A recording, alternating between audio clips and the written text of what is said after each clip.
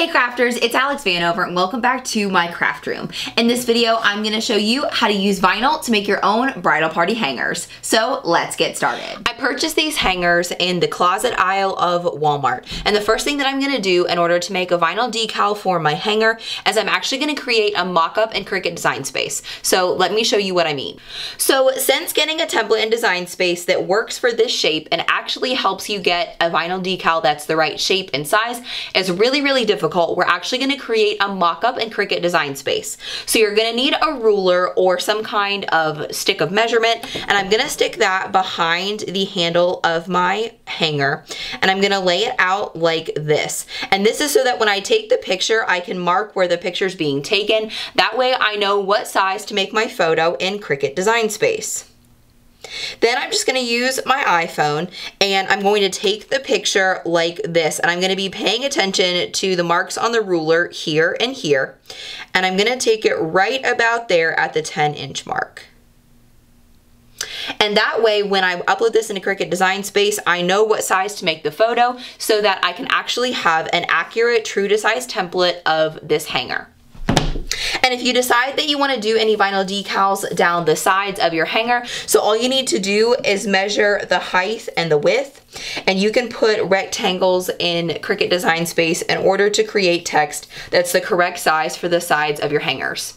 So the next step is to send your photo to your computer somehow, whether that's through email or Google Drive or however you want to do that. And then now I'm going to show you how to upload it in Cricut Design the Space. The next step once you get onto your computer is to actually download that photo from however you sent it to yourself. So that photo should be saved somewhere like in your downloads. And I'm going to show you how to bring it in as a a mock-up. So you're going to go over here to the upload button and click upload image and then browse. Then you're going to go to wherever you have it saved on your computer. Mine's in my downloads. So I'm going to click this and select open. Then I'm just going to choose a random one. So I'm going to choose moderately complex. That's not really going to matter when I show you guys here in a second. And this picture is really, really big, but we're not going to erase anything. We're just going to click continue. So then we're going to save this as a print then cut image as it shows here on the left. And I'm going to rename it hanger and then click save. Now this is going to take a while. You'll see this green bar moving across the top for a couple minutes because this is a really large image. So expect this to take a couple of minutes. So then I'm going to click the image I just uploaded and click insert images. And again, this could take a few minutes to upload too, depending on the speed of your computer. So you'll see when the image comes up that it's really, really big. When you look up here at the width and the height, this is huge. And the reason that we put the ruler behind this picture is so that we knew what size to make it. So I'm going to resize the width to be about 10 inches. Now that's not going to be an exact um, width because as you can see, we go a little over the 10 inch mark, but this is close enough that it's going to make your life a lot easier when it comes to designing your text on a funky shape like this. Now, another thing that you'll notice is that my ruler is straight because it is going along these grid lines. Make sure that when you take this photo that your ruler is straight behind your hanger. Otherwise, you can end up skewing your measurements and it's not going to work out quite as well. So next it's time to pick some text and get started on this area right here. I am going to use a script font called Welcome Script. I really, really love this script font because it's pretty and it's elegant, but it's not super thin. Keep in mind that you want to make sure you're not using something that is so thin that it can't be cut in really, really small um, sections because this is going to be a pretty fine, detailed script font. So you can see there's definitely some boldness to this font, even at a small size. So when you're making a decision, just keep that in mind. I will link this welcome script in the description if you guys want to check this out. It's from a site called Creative Fabrica, and I love it. So the next thing I'm going to do is go up here to my letter spacing and make that zero. And then I can still manually adjust all of my letters, but this way I'm getting a little bit closer to making it easier. Another thing that I'm going to do is I'm going to unlock this little lock in the lower left hand corner, and that's going to allow me to stretch my text a little bit to actually fit it to the hanger itself. Now this is pretty close to the sides of the hanger, so I am going to size it down just a little bit. That way we're not cutting the margins quite that close. but that looks about right to me. So then I'm going to ungroup it so I can manually place my letters.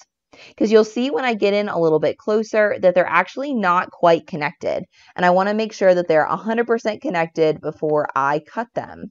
So I probably won't connect that R because it's kind of a different script, but I want to make sure that the rest of the letters are fully connected. Then we're going to select everything by holding the shift key and clicking each letter. And then I'm going to click weld. Remember that you always want to weld with script fonts so that you don't have any letters that cut overlapping. So then I want to address if you want to do the sides of your hanger down this way with a date or with somebody's name or something like that, I want to show you how to create a mock-up for that as well. So remember when I told you to measure the height and the width of the skinniest section of your hanger?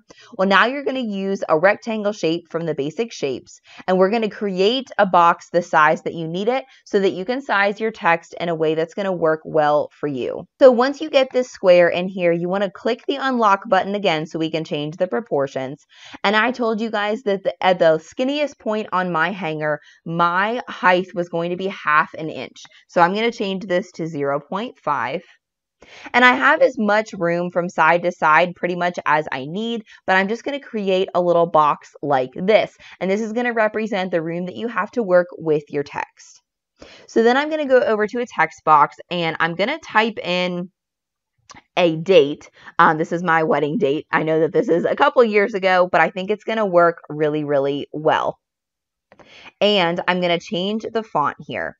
So one of the most popular fonts that I have seen for non-script fonts for weddings is a free font called Champagne and, Lim- in Limousines. It's a really, really easy, um, simple font, and I think it looks really, really elegant on a lot of things.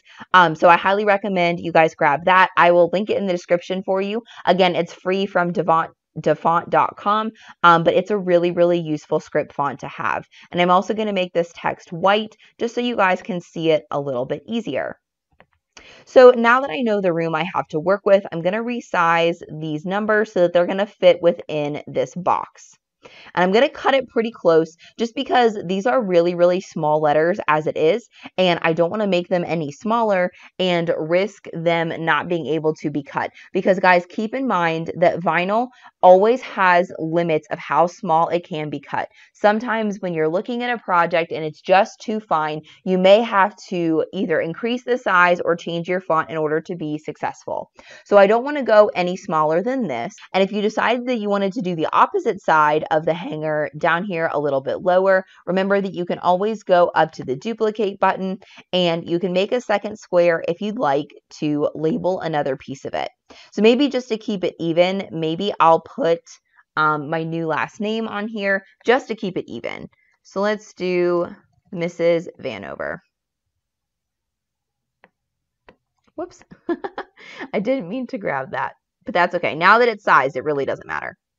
So I'm going to take this and it's already in the Champagne and Limousines font.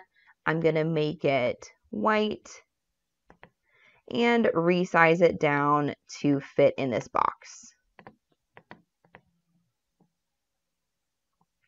I have a little more room to move, so I'm going to make it a little bit bigger. And since this is a little bit more spaced out, I kind of like the way that looks along the sides of the hanger. But if you decide that your name is getting too long or whatever, you can always go up to letter spacing and make it shorter. So now that we have everything in place, we need to go ahead and hide all of the pieces that we used as mock-ups. So I'm going to go over here to this little eyeball and I'm just going to check it to make that disappear. And I'm going to do the same thing on both of these squares back here because we no longer need them. So once you have everything in place, you can select Make It. And I forgot to say that this is all permanent adhesive vinyl that I'm going to be using on this project. Um, some people will talk about using HTV. I don't really think that that's necessary, but I guess it is an option for you. I just really recommend that you stick with adhesive vinyl because adhesive vinyl is meant for hard surfaces. So ultimately, in my opinion, that's going to give you better results. So that means you don't need to mirror or do anything different than that. You just need to click continue. So since we're going to be cutting something so small, I'm going to be using StarCraft HD adhesive vinyl. That is one of my new favorite vinyls of all time for really, really fine and intricate cuts. So that means that I'm just going to use the vinyl setting. So I'm going to cut out all of my letters and then I'll show you guys how to apply this to So after you cut out your vinyl decal, your next step is going to be to cut apart all of your pieces and weed them and apply transfer tape so we can apply them to the hanger. But before we do that, let me give you some tips on what you need to know. First of all, you want to make sure that you're not using a high tack transfer tape such as Cricut brand transfer tape. It is way too sticky and it's going to be really difficult to apply this to a hanger with a super sticky transfer tape. So I recommend 651 Vinyl's clear medium tack transfer tape just because it's just the right amount of stickiness that it's not going to be really hard to get your vinyl off of the transfer tape and transferred onto the hanger. The second thing that I recommend that you have is either a 651 vinyl ball like this or a tennis ball. And that is gonna help you work that vinyl into the wood because it is a little bit textured, so it can be a little bit tricky without a secondary tool. Then you can just cut everything apart, weed it and apply your transfer tape, and then I'll show you how to apply it to the hanger.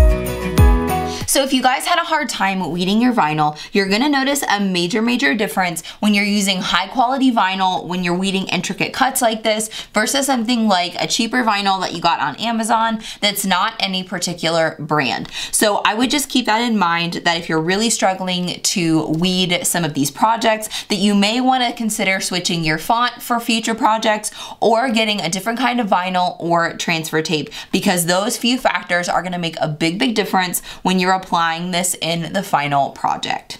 So let's go ahead and apply these to our hanger. So we'll start with the bride decal that goes right at the top. So first I'm gonna peel the backing off of the vinyl so that I can see clearly through my transfer tape. And then honestly, I'm just gonna eyeball this in order to apply it to my hanger. Don't worry if it's not absolutely perfect. You can always cut another decal, and if you wanna leave it the way that it is, nobody is ever going to notice. But the things that I'm looking at when I'm trying to place my decal are making sure that I'm getting the text within all the sides and the bottom and making it as centered as I can. Then once I think that looks good, I'm gonna kind of put my um, transfer tape in like a horseshoe shape and I'm gonna set the middle down first and then one side at a time. So it's gonna look kind of like this. And then before I attempt to peel the transfer tape, that's when I'm gonna use my 651 vinyl ball, or if you don't have one of these, a tennis ball will also work in a pinch. And you're just gonna take the ball and actually roll it over top of the vinyl. Whenever you have a textured surface like wood, it can be a little tricky to get vinyl to stick because it's not um, it's a little bit porous and that makes it hard on the vinyl to adhere. So either a tennis ball or a vinyl ball really helps stick the vinyl onto textures like this. Then once you feel like it's well stuck down, you can also go over it with a squeegee, but don't feel the need to go over it a bunch because that's usually not necessary. Then you can peel back the transfer tape very slowly, making sure you're not pulling anything away. And you're done the first section of our hanger is finished. So then we'll do both of the sides. I think I'm gonna do the longer side over here on the left, and I'm gonna do the date on the right. So with a long name like this, you wanna make sure to get it perfectly straight on the hanger. And one of the best ways to do that is using the hinge method. So in order to do the hinge method, I'm gonna leave the backing on my vinyl and I'm going to place the decal where I want it. And then I'm gonna kind of use the transfer tape to keep it in place until I can grab my painter's tape. Oh, I can tell it's not straight. The only tricky thing about using the hinge method is that obviously you can't see through the backing of the vinyl. So it's a little bit hard to line it up sometimes and make sure that it's perfectly straight. But if you're confident in lining it up, that this does make it way, way easier to ensure that it's straight. So once I feel like that looks good, I'm gonna tentatively stick it down using my transfer tape. And then I'm gonna grab a roll of painter's tape.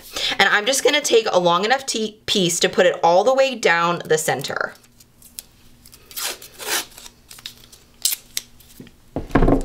Then I'm gonna stick it about halfway through the decal, somewhere like here.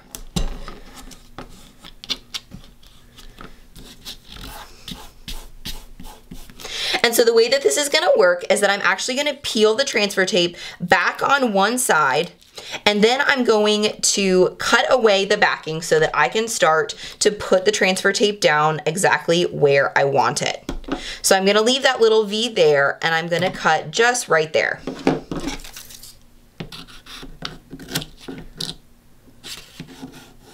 It's a little bit tricky to get your scissors in at an angle like this, but I promise it's gonna make your project a lot easier to um, stick it and make it actually straight. So once I'm able to remove the backing, then I can lay the transfer tape down exactly where I want it and start to push it down with my finger. And that sort of creates a hinge for us. So now we can remove the painter's tape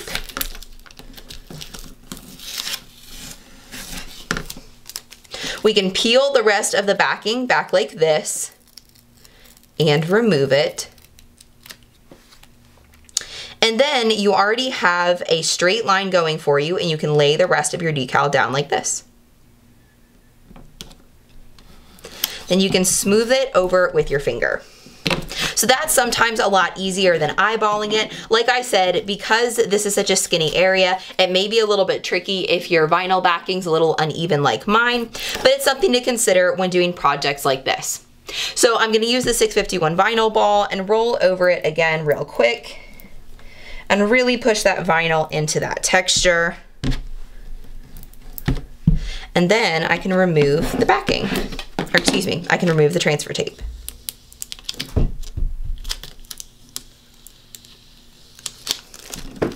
And then all that's left is the other side. And since this side isn't as long, I think I'm just gonna eyeball placing it to show you guys that approach as well. So to just eyeball it, all I'm gonna do is apply it like a normal vinyl decal. I'm just gonna remove the vinyl's backing, making sure all my little pieces are sticking. And I'm just gonna try to kind of almost center it with my longer name on this side. So I'm gonna place it about there.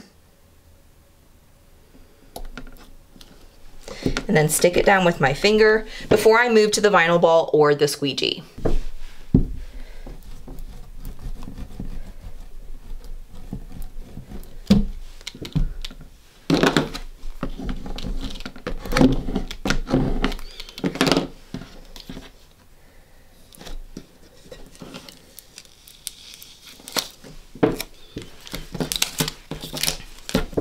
And then your hanger is all finished. You haven't already connected with me on all the social media platforms that you're on, I would love to get to know you. So I'll be sure to put all my social media handles down in the description so that you can find me on every platform that you're on too. You can find me on most platforms as DIY Alex Vanover. And if you're not already a member of my DIY wedding Facebook group, I would love to have you. You can search Cricut Brides and Wedding Crafts on Facebook, and I'll also be sure to put the link in the description so that we're easy to find. We are a group of over 5,000 DIY brides and other people helping planning a wedding here in the near future. So we offer tons of help, ideas, and inspiration around DIY weddings, and we would love to have you. So make sure that you join us there. And if you haven't already, please click right here to subscribe to DIY Alex. You can scroll down just a little bit and ring the bell right next to the subscribe button. Make sure that you select all notifications from that drop down so that you never miss a new upload Fridays at 8 p.m. Eastern Time. I hope we can craft again soon.